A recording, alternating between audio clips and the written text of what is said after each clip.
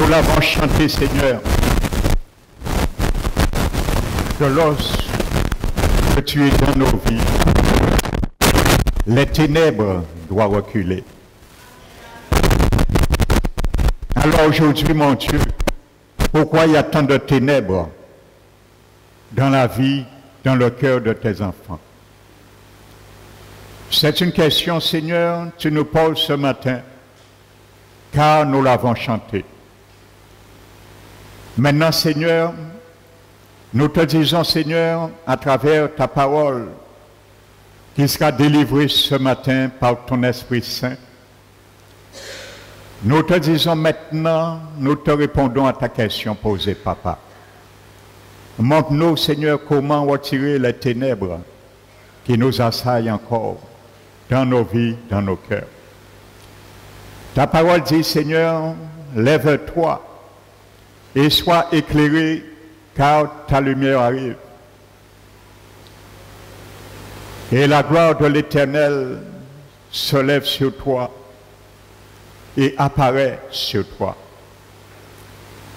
Tu as dit, Seigneur, que l'obscurité couvre toute la terre, les ténèbres couvrent toute la terre, et l'obscurité les peuples. Mais nous voulons ce matin, mon Dieu, te dire de nous apprendre, comme ces rois et ces peuples, à marcher à ta lumière, à marcher à l'éclat de tes rayons. Car ce matin encore, je crois que tu vas rayonner à travers ta parole pour nous faire jaillir la lumière dans nos cœurs, dans les ténèbres de nos vies. Qu'il soit ainsi ce matin parmi nous, par l'assistance et la puissance agissante de ton esprit au milieu de nous ce matin. Fais ton œuvre, Esprit du Dieu vivant. Manifeste la royauté, la loyauté de Jésus qui t'a envoyé pour cela. Pour ma part, je m'incline sur la puissance main de mon Dieu, afin que ton action tombe ce matin sur moi, m'envahit et me conduit par l'assistance de ton esprit. Esprit du Dieu vivant, sois à la main ce matin. Sois la main pleinement et fais de moi un grand ce matin, afin pour diriger, orienter les choses de nos vies, déplacer les mauvais entendements, les meubles mauvais dans nos vies et les remettre à leur place. Je te bénis, Père. Nous t'élevons, te glorifions. Je prends autorité ce matin dans ce lieu au nom de Jésus-Christ de lier et de chasser tout démon de distraction et de sommeil. Au nom de Jésus-Christ, vous quittez ce lieu maintenant, au nom de Jésus-Christ. Père, nous remettons maintenant sous ta conduite et sous tes révélations. Au nom de Jésus-Christ, nous t'avons prié, Père. Amen. Alléluia. Asseyez-vous. Frères et sœurs, donc soyez encore les bienvenus. Nous allons ouvrir la parole de Dieu ce matin dans le livre de 1 Samuel.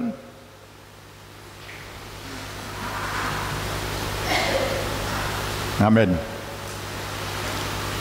1 Samuel, le chapitre 9.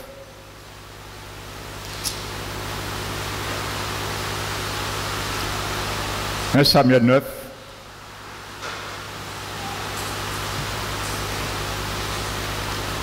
Et le verset 27.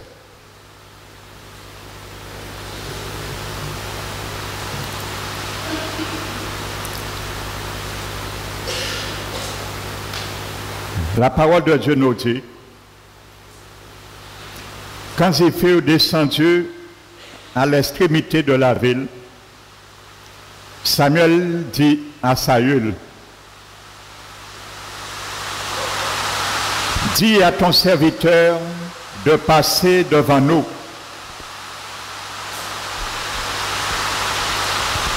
Et le serviteur passa devant. Arrête-toi maintenant, reprit Samuel,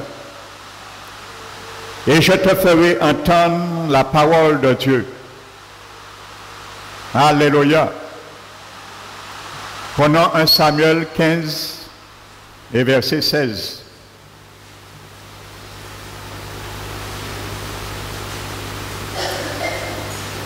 Samuel dit à Saül, arrête et je te déclarerai ce que l'Éternel m'a dit cette nuit. Et Saül lui dit, parle.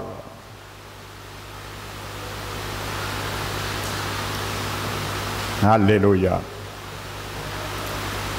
Si je te demande, mon frère, ma soeur, ce matin, quel titre tu aurais voulu donner à cette prédication ce matin? Quel est le titre que tu lui aurais donné?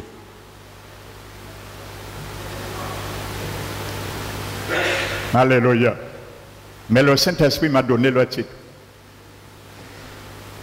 Arrête-toi et entends ce que le Seigneur veut te dire. Arrête-toi ce matin et entends ce que l'Éternel veut te dire. il y a un moment pour arrêter. il y a un moment pour marcher. il y a un moment pour s'égarer, se perdre. Pour certains, mais il y a un moment de s'arrêter. Et ce matin, le Seigneur veut que tu dises comme Saül parle. Alléluia. Saül a dit parle. Amen. Vous savez, bien souvent, le peuple de Dieu s'égare, mais ne s'arrête jamais dans le regardement.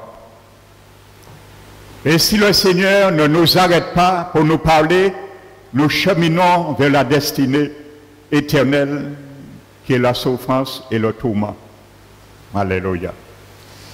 Donc il y a un moment que le Seigneur nous interpelle. Amen.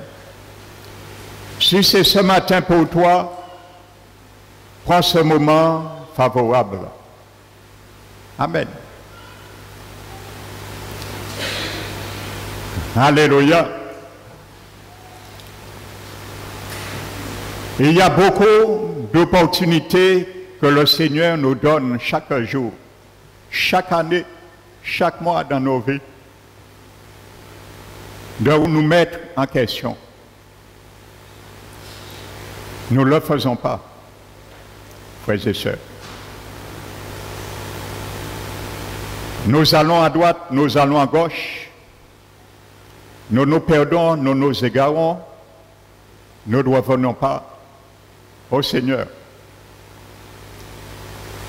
Dans 1 Corinthiens 9, verset 23, je crois, l'apôtre Paul nous dit, ne savez-vous pas que tous ceux qui courent dans le stade courent tous mais un seul emporte le prix. Que tu sois, que je sois ce seul ce matin. Celui qui combat s'impose toutes sortes d'abstinence. Pour une couronne corruptible. Vous savez, ce n'est pas une connotation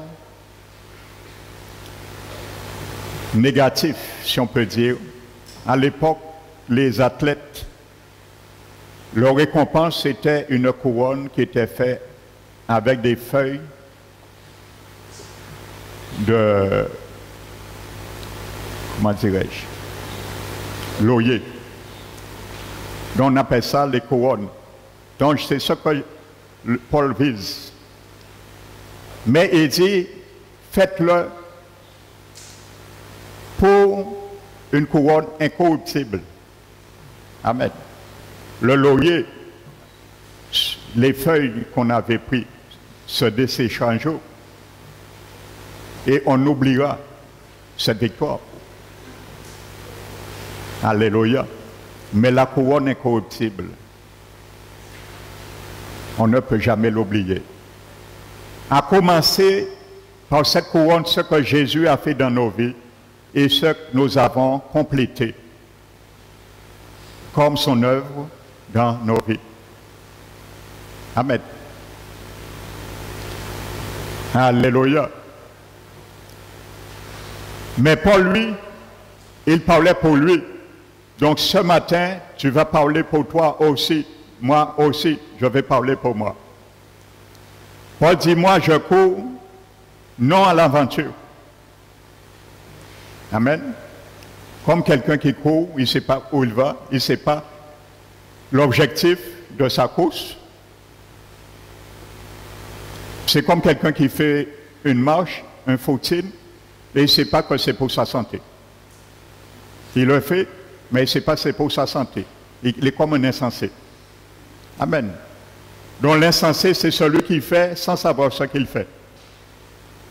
C'est celui qui va sans savoir où il va, à l'aboutissement de ses projets. Ça, c'est l'insensé de la Bible décrit. Amen. Paul dit, moi, je cours non à l'aventure, je frappe non dans l'air.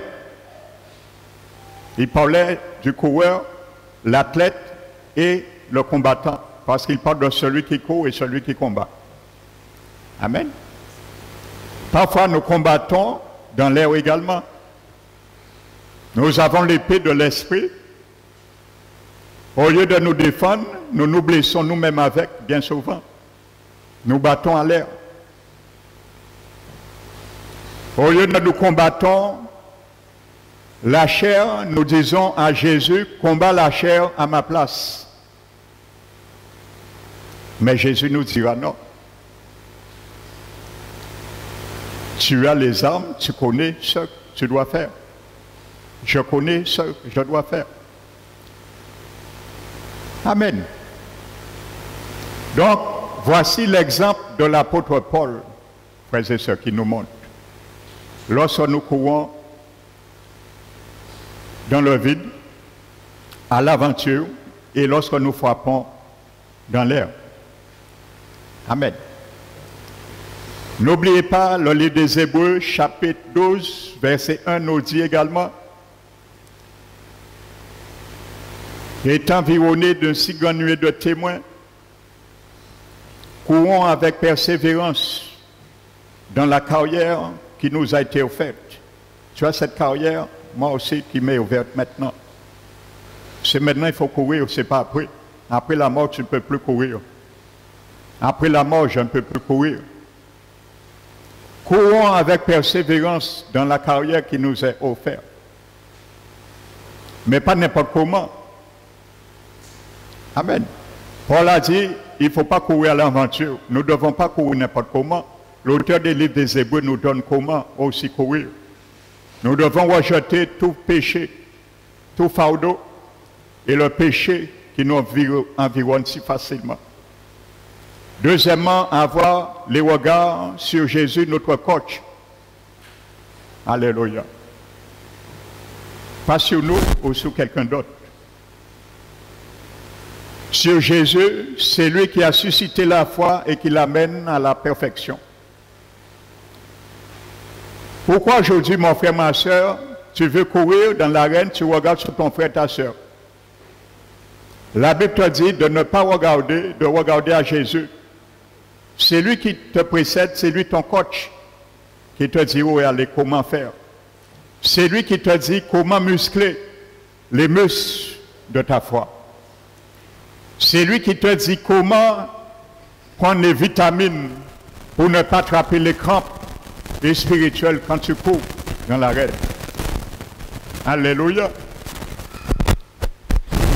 Mais nous ne voulons pas ce coach. Nous voulons faire nous-mêmes. Nous voulons aller nous-mêmes. Et malheureusement, nous nous égarons. Alléluia. Dans un moment pour s'arrêter, réviser nos cœurs. Amen. Et se poser une question. Où je suis? Où je continue à aller? Est-ce que c'est la bonne direction? Où je m'arrête? J'analyse et je retourne en arrière. Quand je dis je retourne en arrière, ça veut dire je me rappelle les premiers souvenirs. Alléluia. Vous savez, la première mention que le livre des Hébreux fait pour les Hébreux, de leurs souvenirs, qui peut me dire la première mention qui fait pour les chrétiens nés de nouveau parmi les Hébreux? La première mention, occurrence de souvenirs. Il y a trois occurrences avant, mais qui s'adressaient directement à Jésus. Mais pour nous, les chrétiens, c'est souvenir des souffrances. Amen. L'abbé nous dit, il faut un moment nous arrêter parfois et nous souvenir des souffrances. Prenons-le Hébreu 10, je crois que c'est Hébreu 10.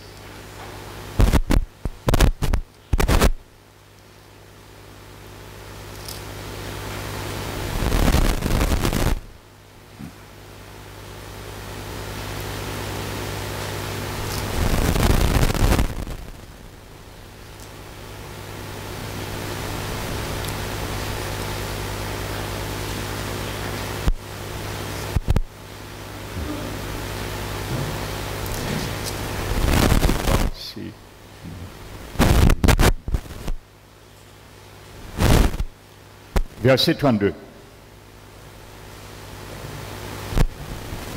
Souvenez-vous de ces premiers jours où, après avoir été éclairé, le jour de ton salut, le jour de mon salut,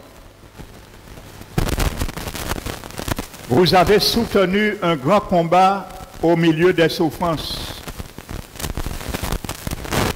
Qui parmi nous qui n'a pas combattu au milieu des souffrances lorsqu'il s'est converti? Je ne parle pas des souffrances physiques, je parle des spirituelles, bien qu'il y a aussi physique, parce que nous sommes persécutés et nous le serons toujours d'une manière ou d'une autre. Jésus nous l'a dit que ce n'est pas beaucoup de tribulations que nous entrerons dans le royaume de Dieu. D'une part, exposé comme un spectacle aux opprobes et aux affections, et de l'autre, vous associant à ceux dont la position était la même. En effet, vous avez eu de la compassion pour les prisonniers et vous avez accepté avec joie l'enlèvement de vos biens, sachant que vous avez des biens meilleurs et qui durent toujours. Vous avez accepté avec joie l'enlèvement de vos biens. Et ça, c'était le combat dans la souffrance. Pourquoi, mon frère, ma soeur, le Seigneur te dit ce matin, il me dit ce matin, pourquoi au départ tu as accepté de te dépouiller de nous dépouiller de nos biens, ce que nous aimions. Ce qui nous a fait souffrir, souffrir, quand le Seigneur les arrachait dans ma chair, dans mon cœur. Les mauvaises tendances. Nous avons tous, d'une manière ou d'une autre, c'est la première chose.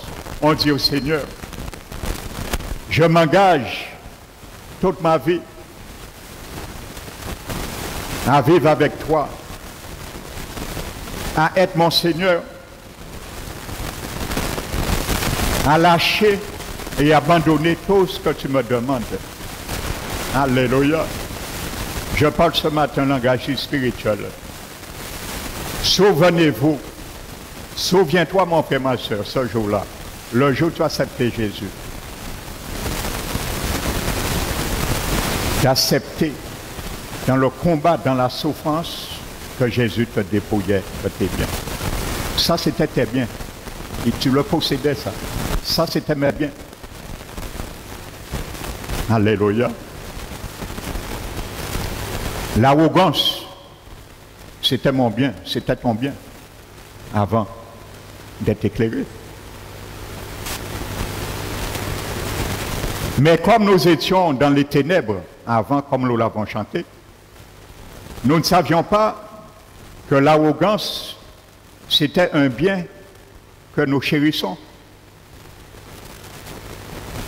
La cigarette, la drogue, l'alcool, l'impudicité, le sexe, tout ce qu'on peut dire, c'était nos biens que nous chérissons aussi.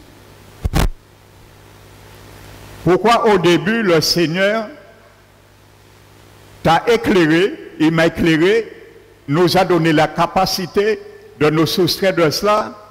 Pourquoi certains chrétiens, après un certain temps, ils reviennent et ils reprennent ce qu'ils avaient donné au Seigneur? Donc, le Saint-Esprit nous interpelle ce matin. Pourquoi au départ tu avais entendu et tu entends encore de ne pas jouer au jeu dans les kiosques, dans les PME Tu avais arrêté? Parce que l'Esprit Saint t'avait donné une conviction. Et après quelque temps, tu reprends. Tu retournes à ces choses. Amen.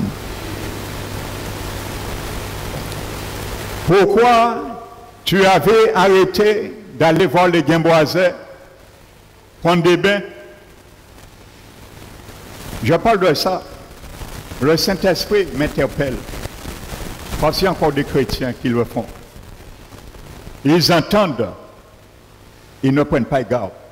Le Seigneur te dit ce matin, arrête-toi et obéis à ce que le Seigneur te dit ce matin, mon frère, ma soeur. Si tu es encore dans ces choses, arrête-toi et écoute l'Éternel ce matin. Et il y a un temps que Dieu te dit de t'arrêter et pour l'écouter. Alléluia. Pourquoi tu t'es laissé avec joie dans le combat, dans la souffrance? Au début, quand tu as été éclairé, tu reprends encore ces choses. Amen. Ce que tu aimais, c'était tes biens et spirituellement. Pourquoi tu veux les reprendre?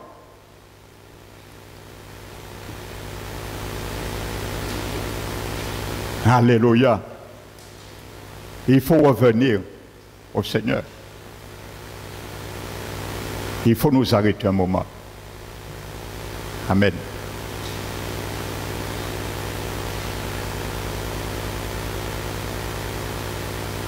Lorsque nous nous égarons, Jésus n'est plus notre boussole. Et je te dis ce matin que Jésus n'est pas un chemin. Je le répète, Jésus-Christ de Nazareth n'est pas un chemin.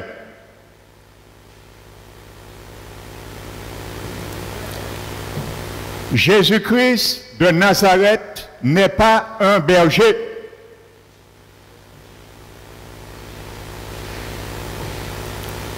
Jésus-Christ de Nazareth est le chemin. Il n'est pas un chemin, il est le chemin. Et nul ne vient Père que par lui. Si tu prends un autre chemin, Jésus n'est pas là. C'est pour ça, ne t'étonne pas que tes prières, tes projets, ainsi de ne fonctionnent pas, ne marchent pas, n'arrivent pas à bout. Car Jésus est le chemin. Il n'est pas un chemin, il est le chemin. Il n'est pas un berger, il est le vrai berger. Alléluia. Quel berger que tu suis? Tes principes, tes pensées, les motifs de nos cœurs. Amen. Vous savez, dans l'évangile de Jean chapitre 14, verset 3, Jésus a promis aux disciples, ça c'est ta promesse et ma promesse, que je vais vous préparer une place. Alléluia, et nous aimons, nous voulons tous cette place. Mais je te dis aujourd'hui, le matériel pour que Jésus bâtisse ta maison si tu meurs, en attendant la résurrection de ton corps, c'est toi-même, tu ne le sais pas, c'est toi-même qui lui donne le matériel. Si tu ne le sais pas, je te le dis aujourd'hui. C'est toi-même qui donne à Jésus le matériel. À travers les bonnes œuvres que tu mets en pratique, que tu accomplis, que Dieu avait préparé pour toi. Amen. Si tu ne pratiques pas ces bonnes œuvres, ta maison, il n'y aura pas de maison. Alléluia. Jésus a dit, moi, je m'en vais vous préparer une place là où je serai, vous y, serez aussi. Et Jésus a dit, vous connaissez le chemin, car vous savez où que je vais. Vous connaîtrez pas le chemin, mais vous connaîtrez, vous connaissez le chemin. Pourquoi aujourd'hui beaucoup de chrétiens sont perdus? Jésus a dit, vous connaissez le chemin. Est-ce que c'est Jésus qui t'a mis dans un autre chemin? Jésus Père Non, Jésus le bon berger. Il te conduit dans des verts pâturages. Alléluia. Comment tu es dans un autre chemin aujourd'hui?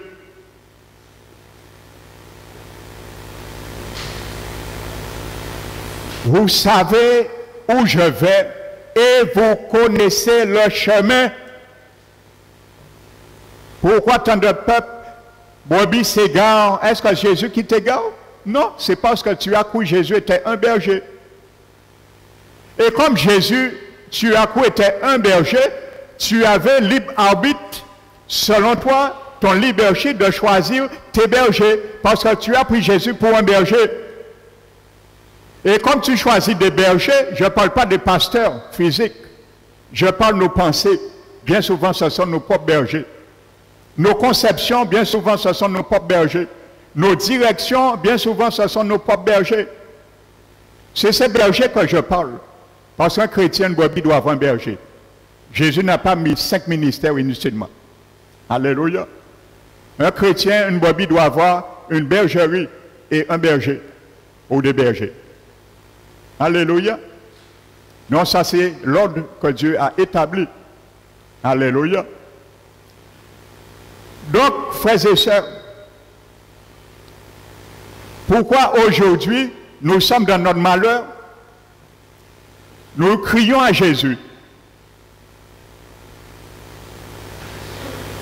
Nous sommes dans la désobéissance. Le sentier que nous prenons s'appelle désobéissance. Le chemin s'appelle instamment la désobéissance et nous crions à Dieu. Nous crions à Dieu. Mais Jésus a dit, où je suis, tu es aussi. Pourquoi tu es dans la désobéissance, Jésus n'est pas là. Jésus t'a dit, où il est, tu dois être aussi. Tu es dans la désobéissance, tu appelles Jésus. Mais Jésus t'a dit, où je serai, vous serez aussi. Donc Jésus t'a dit maintenant, où tu es, je dois être aussi. Ce monde terrien, je parle. Hein. Le ciel est à venir. Le monde terrien, c'est maintenant. Si tu veux être avec Jésus où il est, tu dois aussi amener Jésus où tu es. Parce que où je suis, vous aussi serez aussi. Alors où tu es, je suis, Jésus doit être aussi. Pourquoi Jésus n'est pas avec toi? Quand tu cries à lui et tu as un chemin de la désobéissance. Oui, Jésus. Jésus t'a dit, mais je ne suis pas avec toi. Je te dis, où je suis, tu dois être aussi. Alors, où tu es, je dois être aussi. Oh, ma place dans la désobéissance. Moi, je suis l'obéissance, je ne peux pas être avec toi. Démêle-toi dans ton filet. Alors, ce n'est pas moi qui t'a conduit là c'est toi-même. Alors démêle-toi dans ton filet. Le filet de la désobéissance, démêle-toi toi-même. Alléluia. Beaucoup trop de chrétiens maintenant, elles se mettent dans des filets eux-mêmes. Et quoi dit Jésus? Détache ce filet-là. Non, Jésus te dit détache-le toi-même. Alléluia. Nous pas dit Seigneur, sauve-moi. Seigneur, garde ma vie, garde ma vie, ainsi de suite. Et nous prenons jamais conscience de la parole quand Dieu nous dit arrête-toi, je te parle. Il t'a déjà dit arrête-toi, arrête-toi. Nous quoi continuer. Arrête-toi, nous quoi continuer. Arrête-toi, nous quoi continuer. Alors il dit, ah, j'ai dit arrêter trois fois. Il a continué. Ben voilà la caille. Lorsque nous sommes tombés maintenant dans le filet, nous crions à Dieu, mais Jésus va nous dire non. Non, mon fils, non, ma fille, garde-toi, le malin ne te touche pas. Alléluia. Comment tu as permis le malin de te toucher dans cette situation? Alléluia. Voici ce que ma Bible, ma parole dit. Amen. Parce qu'il y a des chrétiens, est-ce qu'ils vivent dans un nuage d'illusion, dans une bulle, ou pas?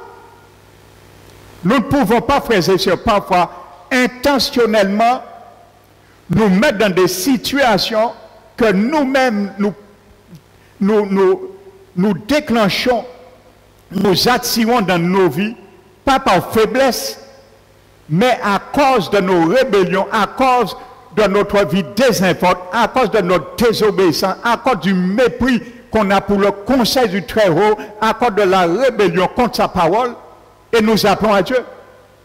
Comment tu peux te permettre de continuer à aller voir, de garder des affaires, prendre des mains au culte et dire Jésus, Jésus te dit, où que tu es, il doit être aussi. Où qu'il est, tu dois être. Jésus est dans ça. Eh bien, n'appelle pas Jésus. Jésus n'est pas là tu vas jouer jeu. Tu te trouves dans des pétrins financiers après. Même si tu gagnes tous les jours. Mais c'est un artifice que Satan te donne pour t'alimenter dans la rébellion, dans la désobéissance. Après, tu te retrouves financièrement, malgré tous les jeux que tu gagnes, financièrement, problème financier. Quand même ça. Et tu cries à Dieu. Jésus t'a dit ce matin, où je suis, tu dois être aussi. Et où tu es, je dois être aussi. Est-ce que j'étais avec toi? Quand tu t'es mis dans ça? Alléluia.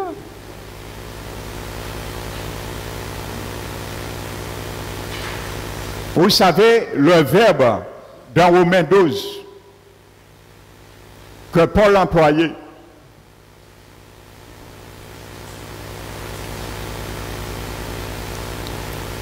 Alléluia, pour ne vous conformez pas au chef présent, ne vous conformez pas.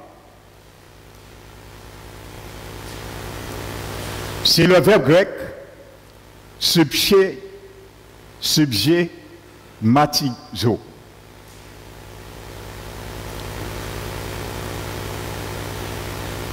Ce verbe veut dire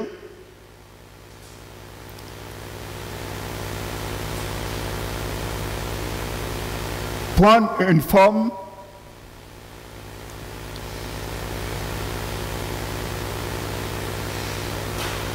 être façonné selon un modèle. Voici ce verbe. Être façonné selon un modèle. Subsier matizo. Ce verbe en grec veut dire être façonné selon un modèle. Et dans le grec, ce même verbe est au passif. Qu'est-ce que ça veut dire? Ça veut dire que le verbe au passif veut dire que si quelqu'un ne prend pas sa responsabilité de résister d'une manière intentionnelle et avec vigueur, qu'il sera, lui à son tour, façonné. C'est ça que ça veut dire, le verbe au passif. Ça veut dire que de toute façon, Dieu nous montre qu'il n'y a pas de neutralité. C'est un, Dieu a toujours mis deux alternatives. Dieu ne fait pas de neutralité. C'est mort, vie, bénédiction, malédiction, salut, mort éternelle. C'est un ou l'autre. Ça veut dire que si un chrétien n'ose pas contrer le monde, ses valeurs qui l'amènent à la perdition, tu n'as pas le choix, tu n'as pas calculé, le monde va te rattraper. Parce que c'est dans le monde que tu es. C'est dans le monde que nous étions. Amen. Donc maintenant, si nous oublions de nous souvenir des combats dans la souffrance que nous avons menés lorsque le Seigneur nous a dépouillés de nos biens que nous aimions, nous retournons dans ça. Ça veut dire que le monde a déjà commencé à te gagner parce que tu n'as pas voulu résister. Tu n'as pas voulu te façonner comme un moule dans la main du Seigneur. Maintenant, le monde te façonne maintenant. Et il est en train de te couler maintenant dans le moule que tu es sorti et que tu es retourné maintenant. Arrête-toi ce matin et écoute ce que Dieu veut te dire. Arrête ce matin. Arrête de courir à l'aventure. Arrête de frapper en l'air ton épée. Écoute maintenant ce matin le Seigneur. Alléluia. Amen.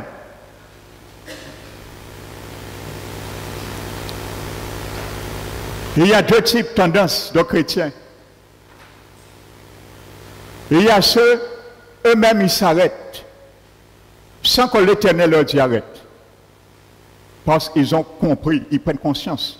Ça, ce sont les, les, chrétiens qui ont été, au début de leur conversion, eu une conviction du Saint-Esprit. Ça, c'est la vraie conversion. Mais il y a d'autres, il faut que le Seigneur les interpelle. Et gloire au Seigneur que le Seigneur interpelle. Le Seigneur interpelle. Amen. Ils écoutent. Ou pas. Amen.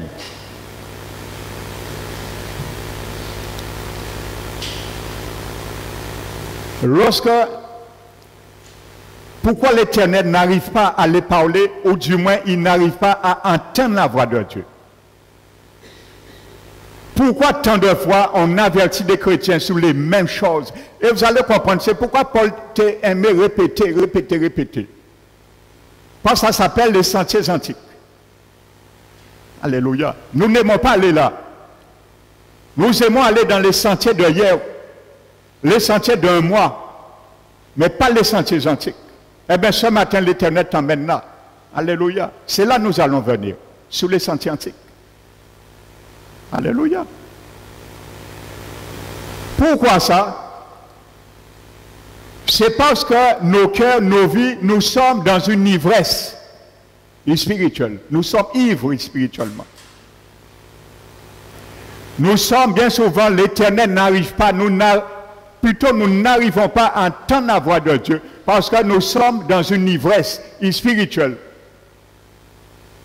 Ce n'est pas tu as bu de l'alcool, hein, physique, mais tu as bu de l'alcool spirituel du royaume du diable. Et ça t'énivre. Et Dieu ne peut pas te parler dans de telle manière. Et tant tu seras dans cette ivresse, tu ne pourras pas entendre la voix de Dieu, bien qu'il te parle. Amen. Lorsque nous tombons, frères et sœurs, bien souvent, lorsque quelqu'un est sous, Alléluia, nous avons titubé, nous avons l'ivresse et nous avons tombé à don canal. Canal là, ni la boue, nous avons sorti et nous avons dit, nous avons dit la boue. Normal au sous. C'est là que lavé, vous savez, ou bien tellement tombé à dans tout cas diable. Pourquoi ça? Parce que c'est un état d'ivresse. Moi, ça m'est arrivé. Jojo tombe un canal là. Lever, tomber, déver, c'est pour moi. Vous vous rappelez de cette chanson? Eh bien, c'est cette réalité. Il y a des chrétiens, ils sont dans une ivresse spirituelle le Seigneur les parle, essayez de parler, raisonner quelqu'un qui est ivre. Essayez de raisonner quelqu'un qui est ivre. Vous n'arrivez pas. Faut attendre il dessous. Frères et sœurs. Un jour, un jour, arrêté, 48 heures, deux jours boulés. J'étais dans le monde. Je n'étais pas encore converti. Ça m'est arrivé un jour de rester deux jours sous deux jours. On manquait pas de vie en un jour là. Ça. J'étais dans un concours à Brewam. Premier abandonné. Celui qui était devant moi, on avait déjà terminé sur la table un litre et demi de rhum. Et ça s'est arrêté, Dieu a permis. C'est ça, vous savez, l'abbé nous dit bien souvent de dresser des embûches derrière et de placer des poteaux. Souviens-toi des sentiers que tu es traversé. Il y a beaucoup de choses comme ça, je me souviens et je donne gloire à Dieu. Parce que dans mon ignorance, entre autres, si je mourais à cet état, je suis aujourd'hui, je suis conscient. Je ne le connaissais pas avant l'enfer, mais je suis conscient, c'est là que je serai aujourd'hui. Il m'a fait grâce. Il avait aussi formulé un dessin pour moi. Amen. Satan devait faire moi tomber un canal. Mais bon Dieu l'avait moi, il m'a au bout. Et aujourd'hui, c'est la tendance de beaucoup de chrétiens. Aujourd'hui, Satan veut les remettre dans le canal de l'amour. Bon Dieu a dit, mon fils, ma, fille, tu es, tu es attaché, tu es tombé, relève-toi, tu as la boue, tu dis au Seigneur, non, en pas ni la boue. Qui Jean bon Dieu qui parle nous? C'est la même réalité. Sautons dans cette ivresse et écoutons la voix de l'Éternel. La première chose, Dieu commence à dire dans Exode à son peuple, il commence à les dire, avant de contracter une alliance avec eux, une alliance de guérison, il commence à leur dire, si tu écoutes attentivement la voix de l'Éternel, ton Dieu, si tu écoutes attentivement la voix de l'Éternel, ton Dieu, si tu fais ce qui est bien, toi à ses yeux, si tu as ton cœur, incline ton cœur à ses lois et obéis à tous ses commandements. Voici après. Alléluia. Nous voulons, mais nous ne voulons pas écouter la voix de l'Éternel. Si nous écoutons la voix de l'Éternel, nous te voyons longtemps, plusieurs fois que nous avons dans mauvaise impasse, nous faut nous arrêter. Alléluia. Arrête-toi et entends ce que Dieu Amen. Nous sommes comme des Nabal. Vous savez, en hébreu, le mot Nabal veut dire folie.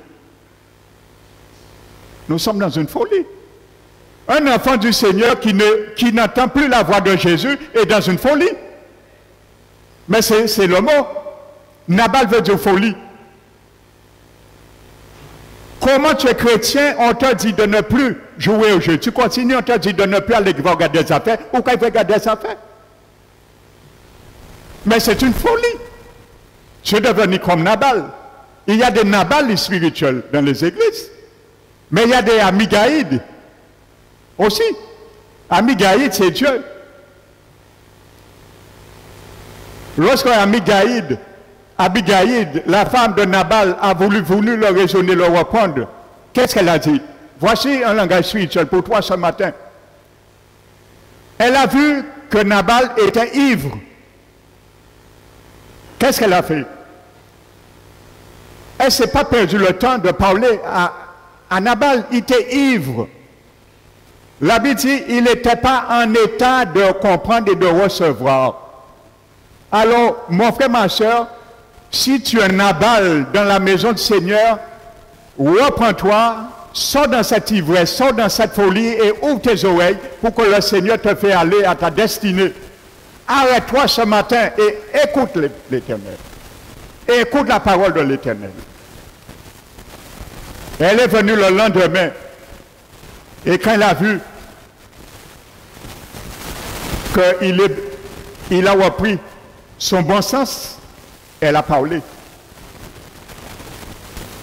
Alors mon frère, ma soeur, si tu es dans une folie spirituelle, tu vas entendre la voix de Dieu. Si tu es dans une folie, tu vas entendre la voix de Dieu. Mais non. Pour entendre la voix de Dieu, il faut que tes oreilles soient éveillées. Il faut que tu sortes dans cette folie, il faut que tu sortes dans cette ivresse spirituelle et tu pourras entendre le conseil de Dieu. C'est pour ça que beaucoup de chrétiens se perdent. Ils, ils se sont enivrés avec les choses du monde. Ils se sont enivrés avec les choses qu'ils ont laissées bien souvent au début lorsqu'ils ont été éclairés comme Hébreu chapitre 10 verset 32 le dit. Ils regrettent et retournent. Il retourne. Alléluia. Le Seigneur peut parler. Imagine-toi, ou à quand on des affaires, il a fait monter dans ce cabalistique. Deux, trois mois, tu as entendu, Dieu t'a donné un message sur cela. Dieu parlait, pas monter à danser kabbalistique. Trois mois autant de ça, où ils vont garder des affaires. Et quand je monte à danser kabbalistique, l'Esprit de Dieu t'interpelle. Ou quoi monter quand même? Après, Pierre a commencé, bah, gaz, ou quoi prier, ou quoi dire Seigneur, Seigneur, viens mon secours. Mais c'est de la folie. Vous comprenez? Ça s'appelle de la folie. Jésus te dira, mon fils, ma fille, je te dis dans Jean 14, verset 3, où que je suis, tu dois être aussi. Et où tu es, je dois être aussi. Est-ce que je suis là? Alors sors-toi toi-même, ne m'appelle pas. Quand tu seras sincère, quand tu auras décidé, consenti de lâcher ces choses, je viendrai à ton secours.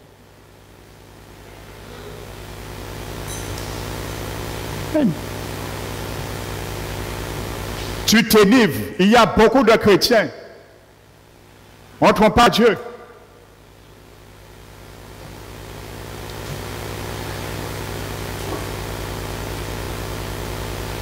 On s'égare dans nos pensées. Parce que les pensées, c'est un grand monde. On peut aller dans le secret où personne ne voit, dans nos pensées. On peut penser des choses, aller dans un monde, un monde virtuel, à travers nos pensées. Mais le Seigneur voit que tes pensées ne sont pas ses pensées. Ça aussi, c'est de la folie. Ça aussi, c'est des voies d'égarement.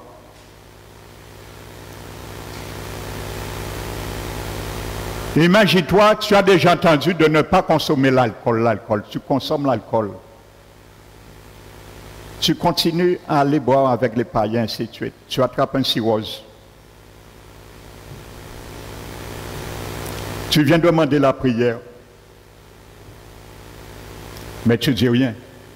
On ne sait rien. Mais combien de fois en amont l'Éternel t'a dit, arrête-toi. Ouvre tes oreilles pour que je te parle. Tu fais cela sur l'oreille. Le Seigneur, tu dis, Seigneur, guéris-moi. Mais tu continues à boire. Tu crois le Seigneur va te guérir? Mais ça, c'est de la folie. Il y a un homme l'autre jour, il est venu me voir pour la prière parce qu'il commençait à avoir, je ne sais pas si c'est un début de cirrhose. Je lui dit, pourquoi tu veux que Dieu te guérisse? Je lui ai posé la question avant. Pourquoi tu veux que Jésus te guérisse? Il m'a dit, pour qu'il se sente mieux, en meilleure santé. J'ai dit oui. Mais à part cela, est-ce que tu vas donner ta vie au Seigneur et prendre une résolution de ne plus toucher à l'alcool? Parce que c'est lui qui a déclenché ça. Il m'a dit, ouais, mais moi, j'aime l'alcool. Vous voyez? Donc cette question m'a pas même pris la peine à prier. Ben. Parce que Jésus guérit pour sa gloire. Amen. Jésus guérit pour sa gloire. Quand Bartimée a été guéri, la première chose que a fait, il a jeté le manteau et il a suivi Jésus. Alors jette ton manteau, voici et suis Jésus. Il y a beaucoup qui n'ont pas compris ça. Alléluia. Chaque personne vient au monde avec un manteau. Il y a des maladies incurables, ça s'appelle un manteau. La mendicité, ça s'appelle un manteau. Les dettes, ça s'appelle un manteau. Quand Jésus te guérit, jette le manteau. Alléluia. Et suis Jésus. Ça veut dire ne reviens pas sur ces choses. Oublie ces choses. Alléluia. Ne reviens pas dessus. Où est le manteau de nos biens que Dieu nous avait dépouillés le jour de notre salut? Nous sommes allés prendre ce manteau. Nous l'avons remis sur nous. Jacques chapitre 1, verset 4 nous dit, rejetez, rejetez, rejetez tout souillure et tout débordement de méchanceté. Et recevez avec douceur la parole qui vous a été implanté et qui peut sauver votre âme. Amen. Dévêtez-vous de ce manteau. Amen. Alléluia. Laisse-moi voir qu'est-ce que le Saint-Esprit veut que je lis dans mes notes. Amen.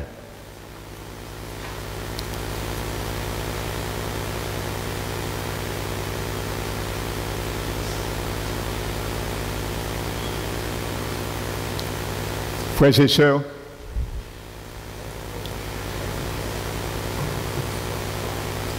lorsque le Seigneur veut que nous retournions à lui,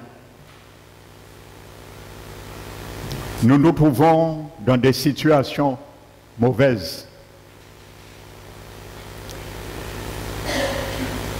Nous ne savons pas quoi faire.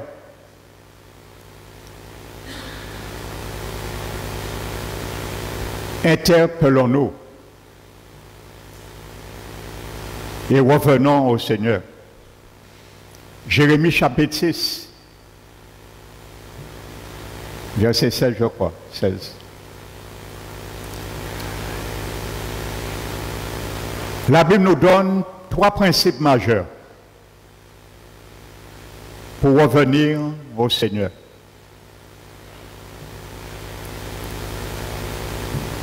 Placez, regarde, place-toi, regarde et demande. Jérémie dit, placez-vous sur le chemin. Regardez et demandez où sont les sentiers antiques, les anciennes voies. Et vous trouverez du repos pour vos âmes. Tu n'es pas en repos, ton âme n'est pas en repos, fais cela, essaie cela. Tu as déjà essayé d'autres choses, essaie cela. Place-toi sur le chemin ancien. Demande, pose des questions à tes prédécesseurs qui sont passés comme toi, qui se sont laissés dépouiller avec joie de leurs biens. Amen. Je parle bien spirituel, hein? ce que nous aimions à l'intérieur de nous, les biens intérieurs. Pas bien matériels, mais les biens intérieurs. Je parle spirituellement. Alléluia.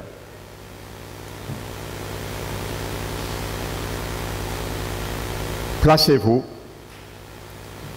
Alléluia. Regardez, demandez.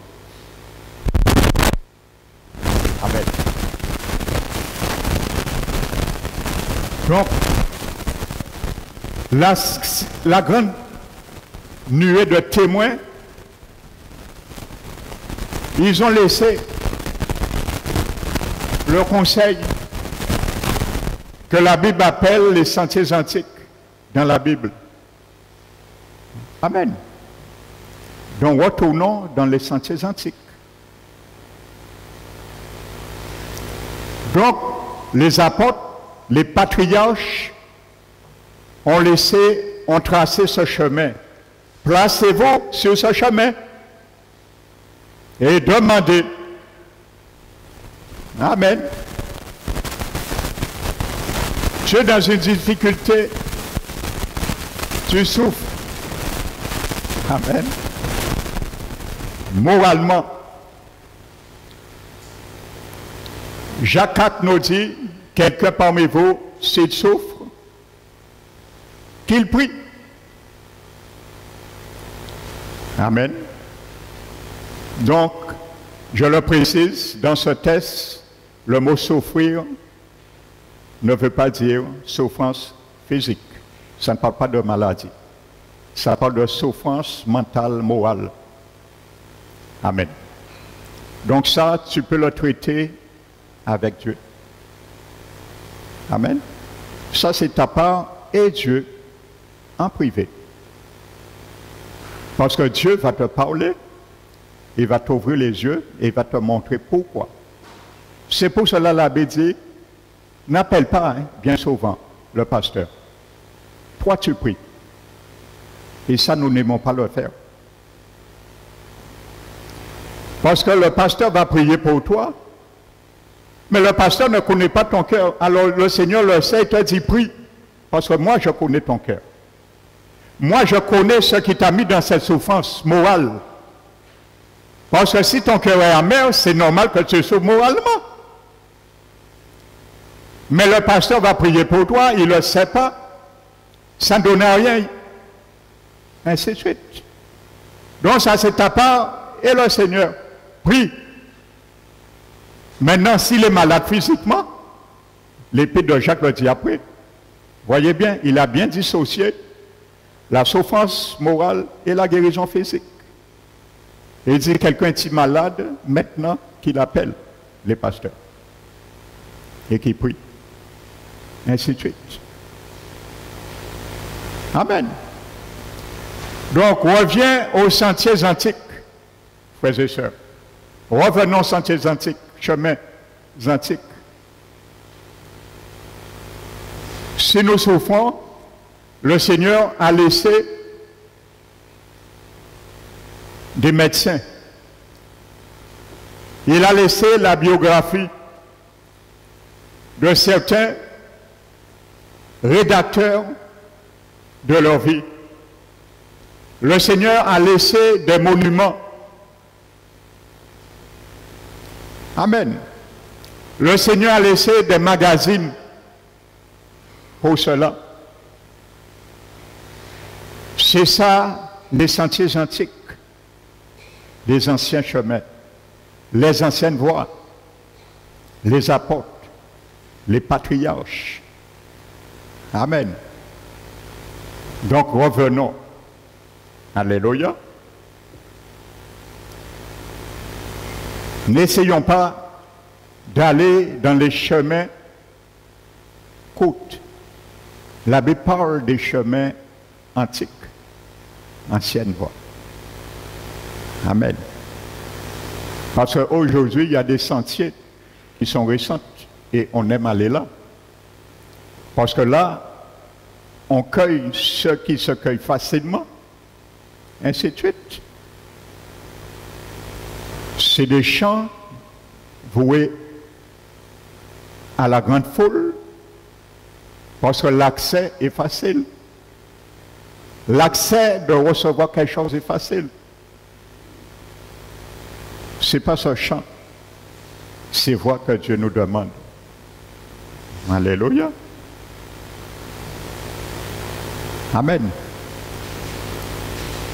Les chants, on va tirer les gens à voir. Toujours, vous venez, vous allez toujours être guéri, vous allez toujours être délivré, vous allez toujours être restauré, ainsi de suite. Amen. Et si on n'entend pas ça, ah, il n'y a pas gloire, il n'y a pas gloire du Seigneur, il n'y a pas. Il n'y a pas. Alléluia.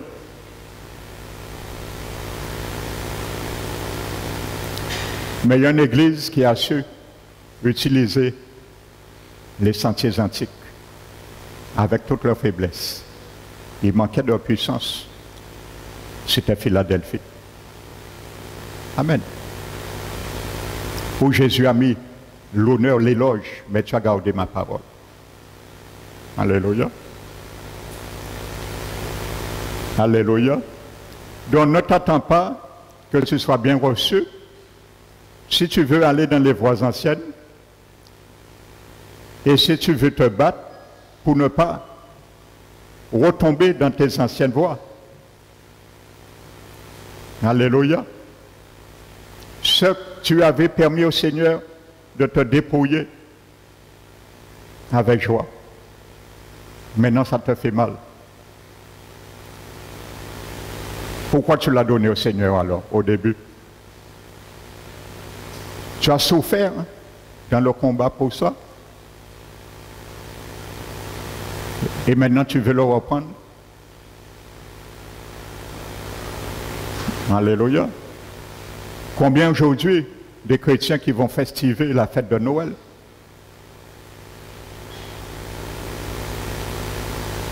Parce qu'ils ont accepté que le Seigneur les dépouille de toutes ces mauvaises, toutes ces traditions vous pensez aujourd'hui que la fête de Noël, c'est une fête chrétienne? On n'a jamais vu depuis novembre. Ils ont commencé à mettre des dans un magasin. Ça, autant si on pas gente qui a ça. Même pour les païens, c'est une fête qui est désacralisée. Même les païens qui disent, ouais, bon, fête chrétienne, ça allait. C'est pour vous dire. Mais combien de chrétiens nés de nouveau qui vont se vautrer? Avec les païens dans ça, ils ont chanter Noël. Ni chrétiens nés de nouveau, ils ont chanter Noël.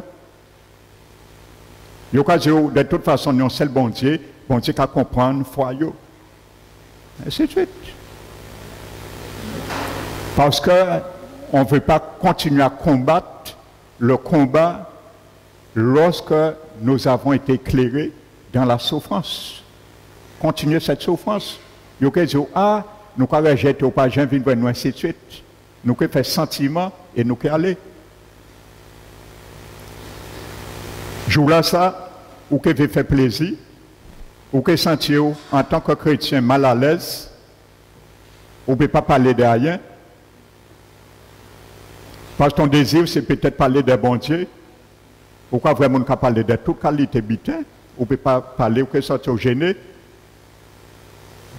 Alors, comme tu es venu dans le sentier, le quartier du diable, et que commence à mijoter, un petit coup, ou que bien, et que tu bois un petit coup, ou que prend un coup, mais sache que l'homme prend deux verres, le troisième verre prend l'homme. Et c'est comme ça qu'on sous ou passe à qui moment. Après que rentrer en parole là, il que sentir bien. Parce que tu es rentré dans le moule du monde. Et c'est ces pièges-là que Satan est en train de toutes les opportunités favorables et cachées pour nous. Amen. Chacun le voit. Les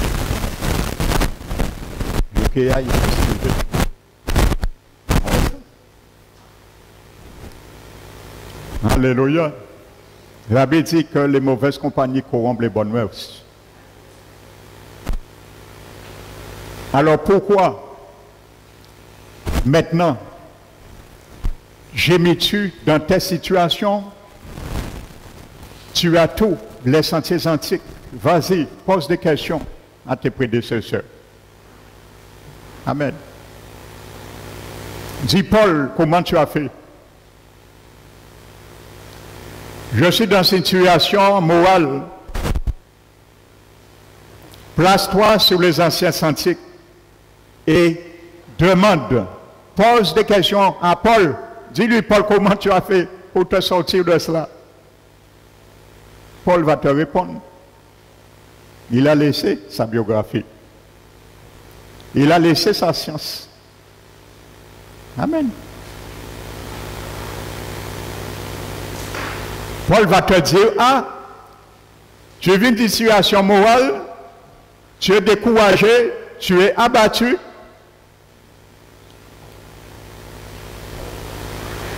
Mais sache que ces choses présentes que tu vis n'est pas comparable à la gloire à venir. Alléluia. Alors en Dieu.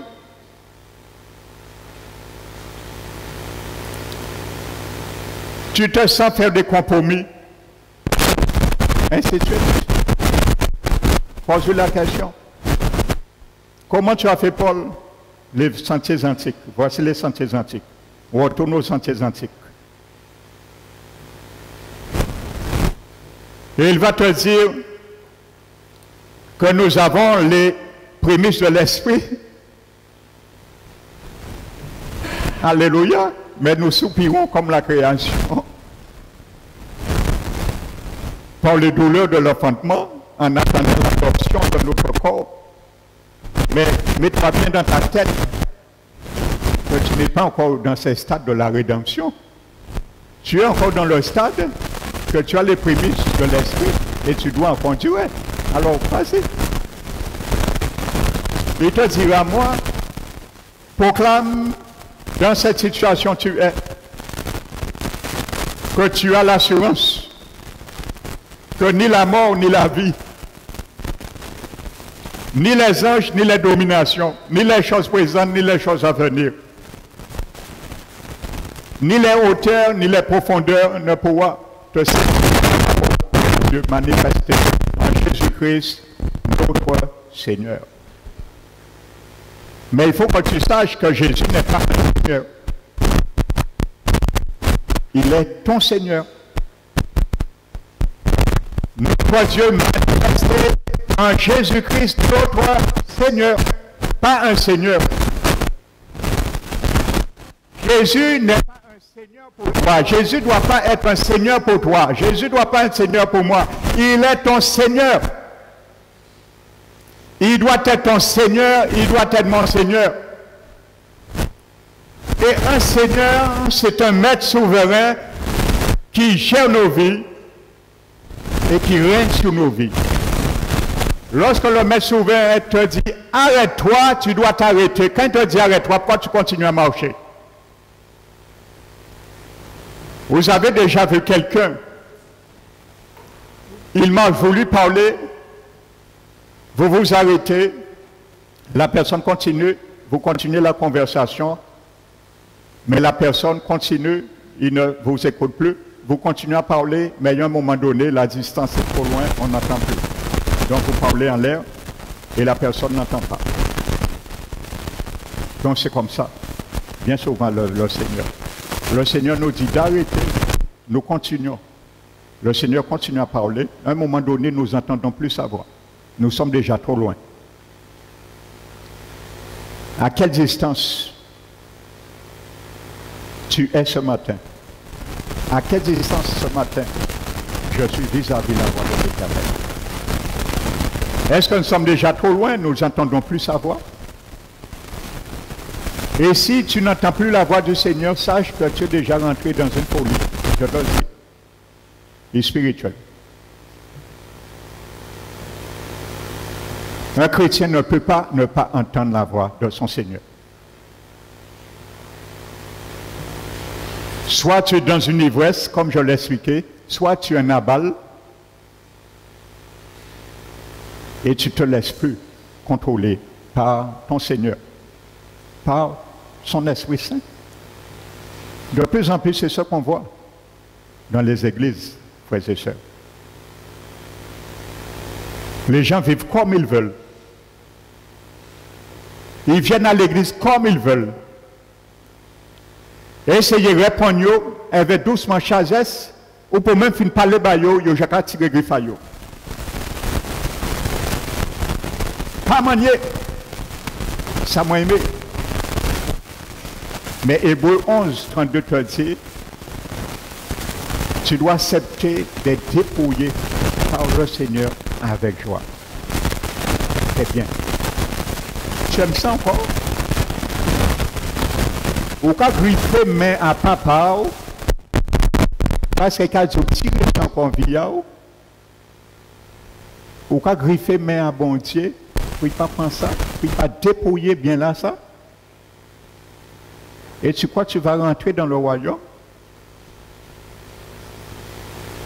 Mais jamais. Il va te dire, mais mon fils, ma fille, commence à tailler tes ongles. Comme ça, tu n'auras pas à me griffer à t'y prendre à moi quand je te parle, quand je te raisonne. Amen. Donc, il y a des temps pour entendre, pour s'arrêter et pour entendre, frères et sœurs.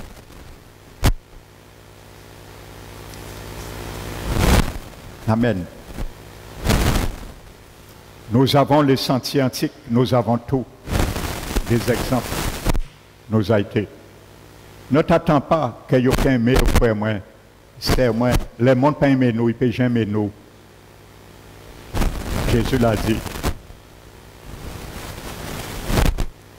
Le prophète Jérémie, il a exhorté le peuple, il a prophétisé, il disait la vérité, il enseignait la vérité, la droiture. Les rois à pas n'importe monde. Les rois, le peuple a pris Jérémie, il a jeté dans la citerne. Tu crois le diable va pas essayer de te jeter dans des citernes pour t'isoler? On l'a jeté dans une citerne, il n'y avait pas d'eau, mais il y avait de la boue. Et il y avait de la boue. Frères et sœurs. Donc attends-toi.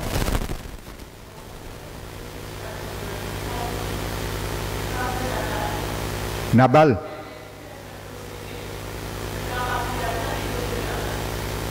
Oh, j'ai pas bien entendu.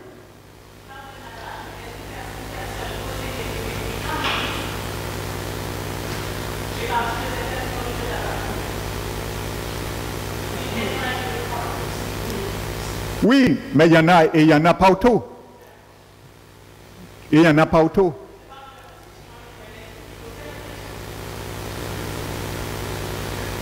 Donc, eh bien, quand c'est Naba, c'est réalisé eux. Amen. Donc, je disais que on l'a jeté.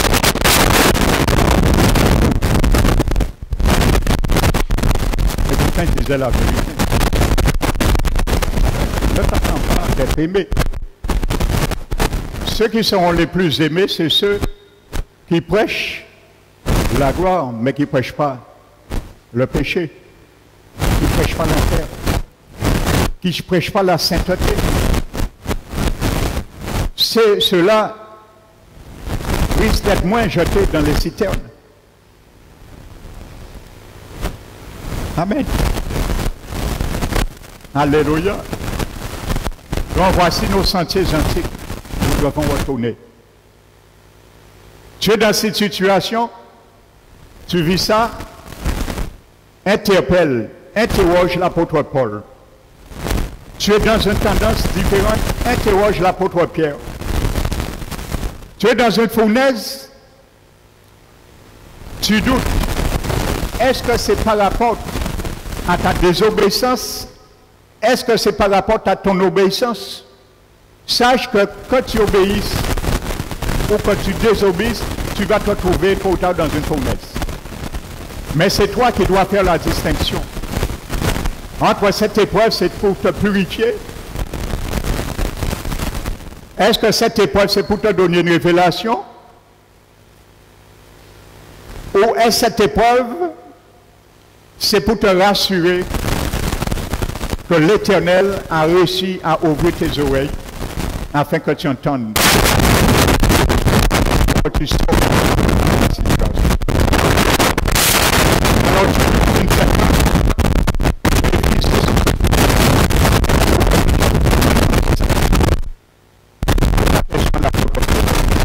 Il est passé là avant toi.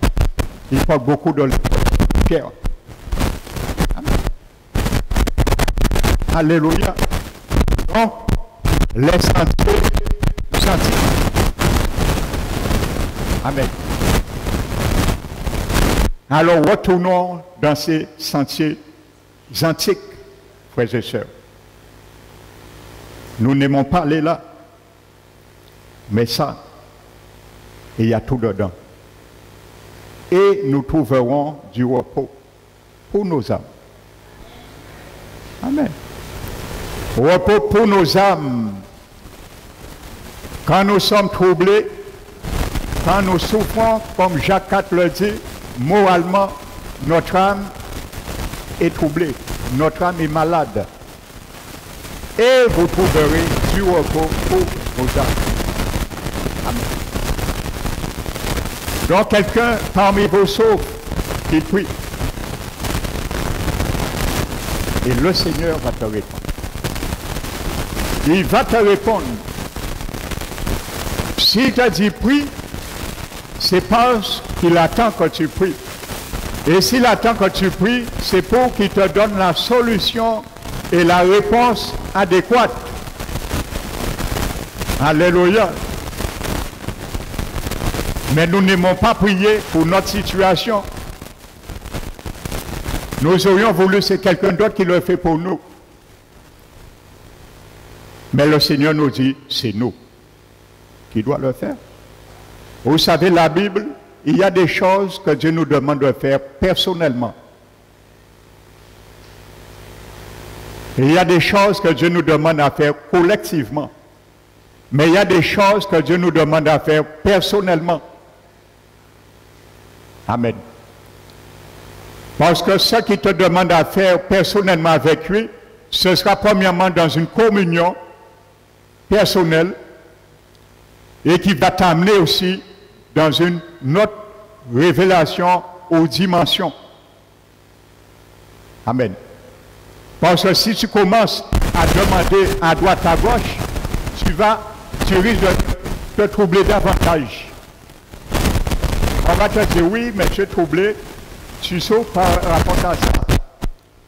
On va te dire tu sautes par rapport à ça. On va te dire, eh bien, fais ça. On va te dire, eh bien, ne fais pas ça. Tu risques de t'en mettre dans un engrenage pour amplifier ta souffrance morale. Mais quand tu viens devant le Seigneur, il va commencer à te faire comprendre pourquoi tu souffres premièrement. Parce que la Bible dit une malédiction sans cause n'a rien. Il va commencer à te montrer pourquoi tu souffres moralement.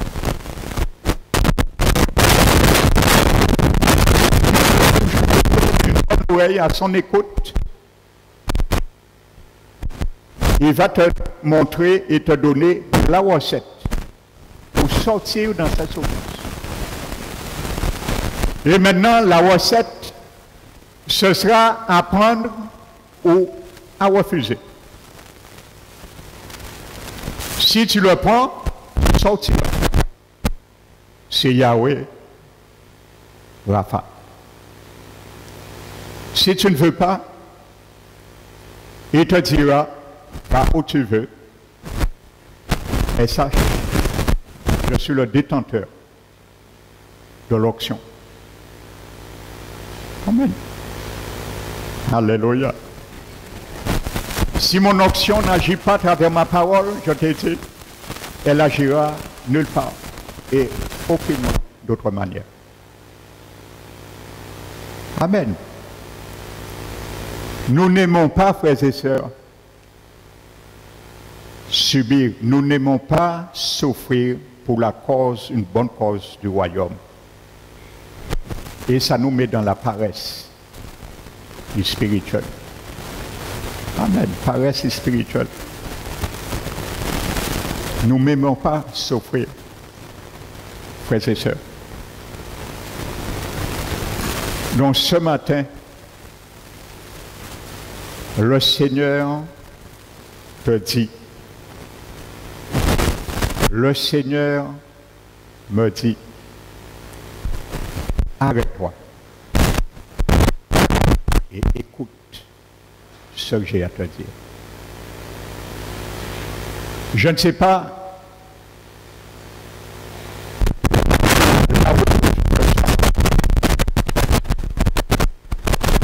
je ne sais pas quelle intention que tu as entrepris pour ton salut personnel. Je ne sais pas l'état de ton cœur. Mais le Seigneur le sait. Alors ce matin, il t'a fait entendre de t'arrêter et d'écouter. Vous avez vu, je vous ai pris deux versets qui s'adressaient de la même manière à une même personne. Salut. La première chose dans ces deux versets, la dit, arrête-toi. Arrête-toi. Arrête-toi. Ton cœur, ton âme est dans une tempête. Arrête-toi dans cette tempête. Et écoute ma parole.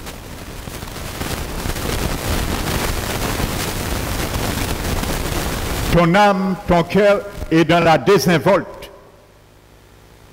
Le Seigneur te dit, arrête-toi dans la désinvolture et écoute-moi. Ton âme, ton cœur est dans la désobéissance. Le Seigneur te dit, arrête-toi dans la désobéissance et écoute ma parole. Arrête et écoute.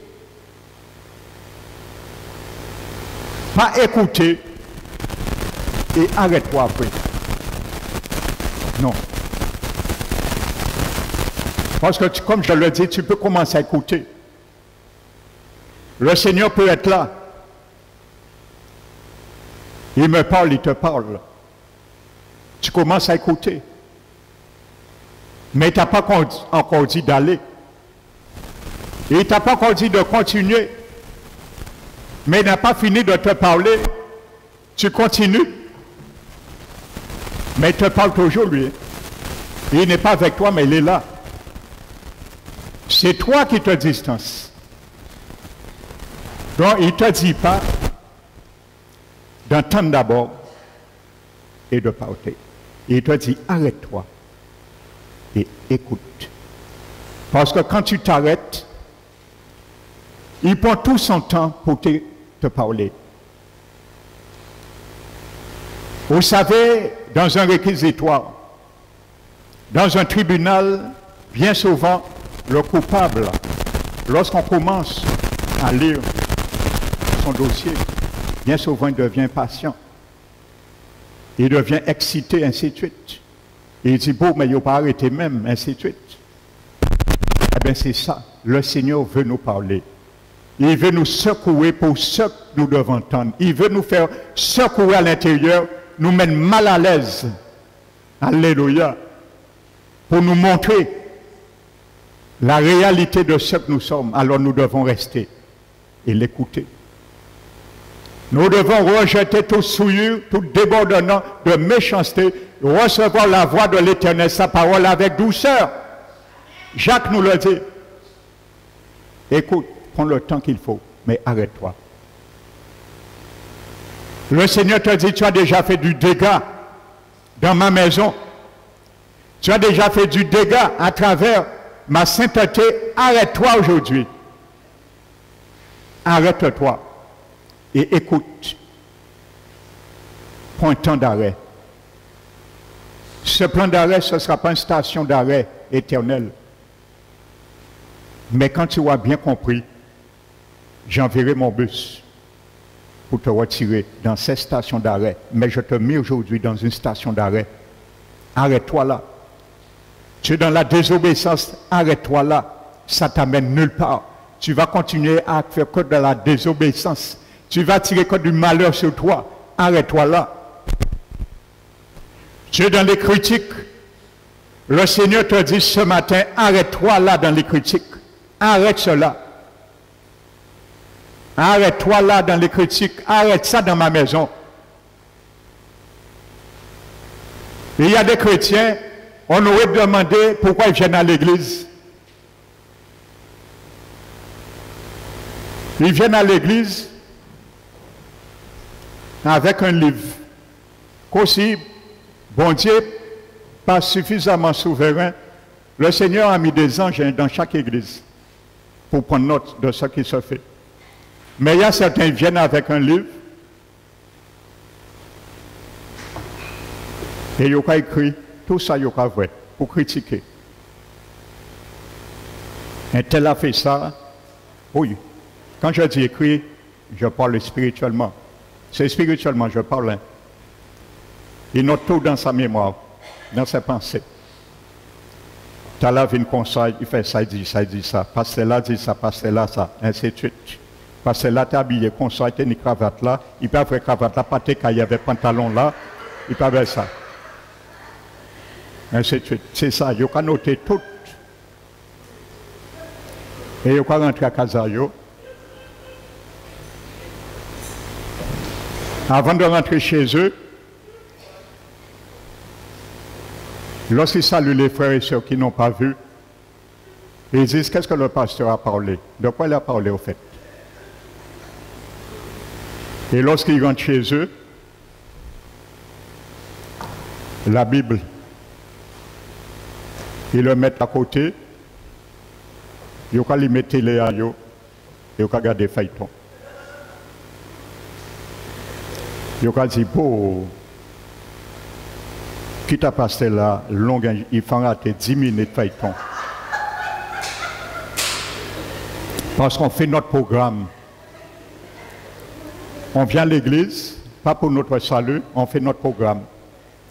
Et dans notre programme, on inclut Dieu dans notre programme. Mais c'est Dieu qui nous inclut dans son programme. N'inclus pas Dieu dans ton programme. Ne fais pas ça. Si tu le faisais, arrête. C'est Dieu qui t'inclut dans son programme.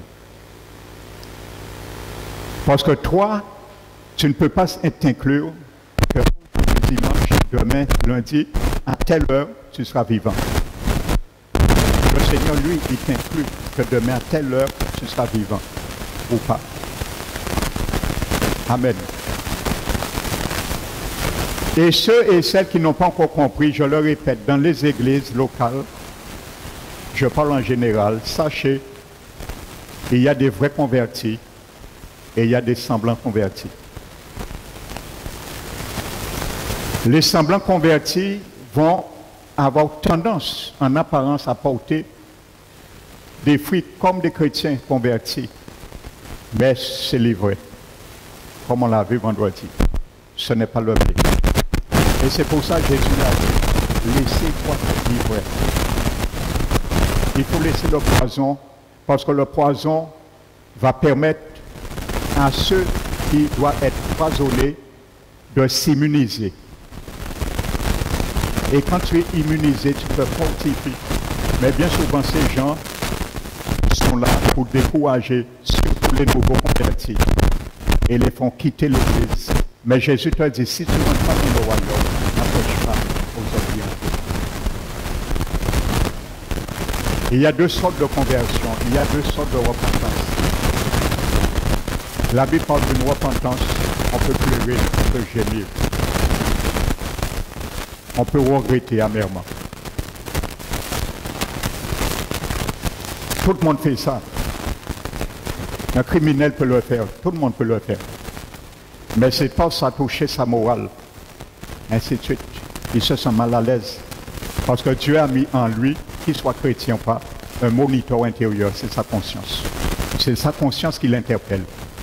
Mais demain, on le met en cachot, il sortira, il va répéter la même chose, ainsi de suite. Ça, c'est une fausse repentance. Et la Bible parle de ces repentances. Ces repentances mènent à la mort en finalité. Parce qu'on n'est pas sauvé, ça ne va pas nous amener au salut. Je le répète, Dieu a dit que cette repentance amène à la mort.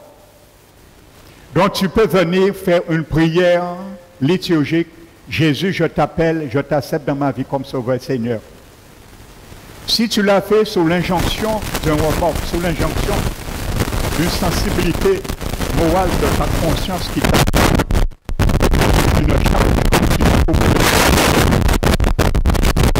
repentance ne va pas au salut.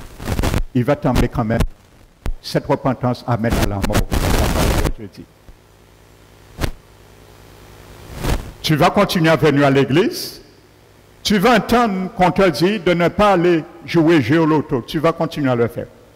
On te le dira de mille façons, tu vas continuer à le faire. On va continuer à te dire, tu vas entendre, entendre, entendre de ne pas aller voir les guimboisés. Tu vas continuer à le voir. C'est normal, tu as fait une fausse conversion. Amen. Et tu n'es pas sauvé. Tu es un croyant, mais tu n'es pas un disciple. Tu viens à l'église et l'adversaire va t'utiliser pour troubler ceux qui sont le blé, ceux qui sont nés de nouveau. Mais ce qu'on ne voit pas, c'est pour ça que je vous l'ai dit, ne venez pas à l'église pour quiconque. Quand tu viens à l'église, commence à déposer là, te jeter à l'eau comme Jonas. Pour toi-même, n'amène aucune tempête dans l'église. Et que tu sois affecté par aucune tempête dans l'église. Viens les yeux fixés sur Jésus. C'est ton rémunérateur. C'est lui qui t'a sucé de la foi. La foi qui t'a sauvé une fois pour toutes. La foi des saints. Amen. La vraie repentance, c'est celui qui a vraiment une conviction du péché, qui lui a fait pleurer, regretter, mais a pris une décision certaine pour l'éternité avec son Dieu. Ça, c'est la vraie repentance qui amène au salut. Amen. Les deux repentances, la vraie, la force, tous les deux sont désolés. Les deux repentances, tous les deux ont versé des larmes.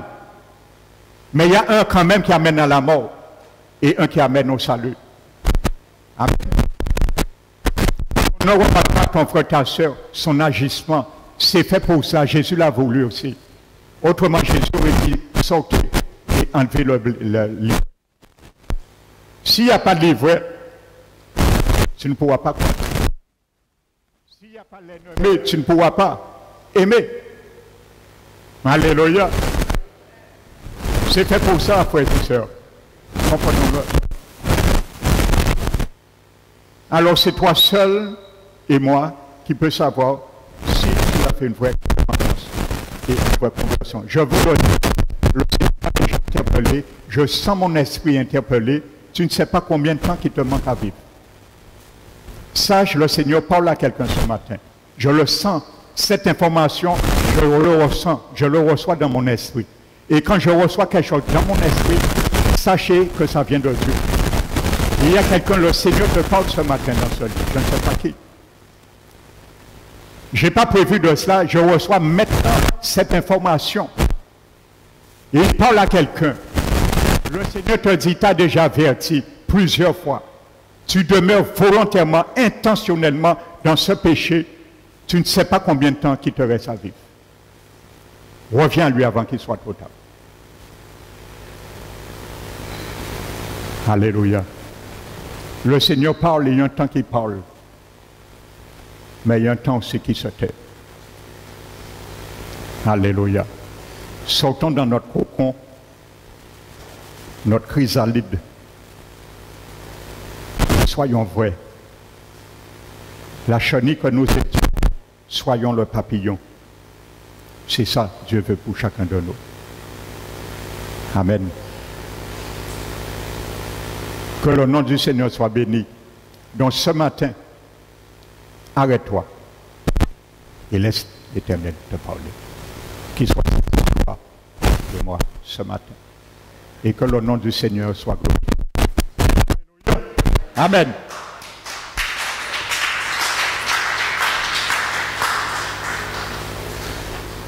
Nous allons...